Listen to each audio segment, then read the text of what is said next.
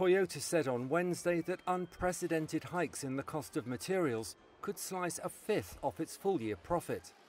The world's top automaker by sales said it can no longer shrug off the supply chain crunch that has roiled the global industry. Its fourth quarter operating profit also reported a 33% drop, well below analyst estimates. The news led to shares closing down more than 4% Wednesday after their biggest one day fall in two months. Toyota's chief financial officer, Kenta Kon, told a news conference that material costs will more than double to over $11 billion this fiscal year. The company aims to switch to lower cost alternatives.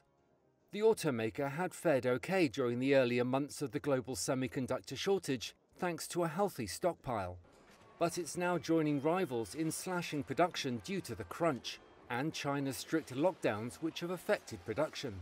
Toyota plans to increase its global sales this year, but the rising costs could put pressure on its profitability.